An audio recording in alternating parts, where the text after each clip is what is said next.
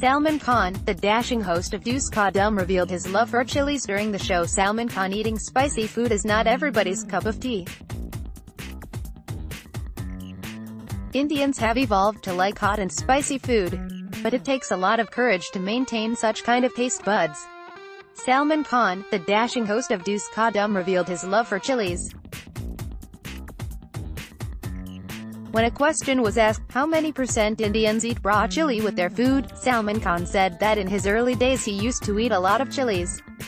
But currently whenever he eats spicy food or in that instance a lot of chilies, he gets sweaty. In fact, his love for chilies is very evident in the movie Hum Dil De Chuke Sanam. He ended up eating a lot of chilies due to retakes and his reactions and expressions were 100% real. Still, after so many years his love for spicy food is not over and whenever he visits his farmhouse, he still eats onion and chilies along with roti to satisfy his hunger pang. Many people refrain from eating spicy food to keep their digestive system in place, but our anchor Salman Khan keeps his spice love in limits without harming his health.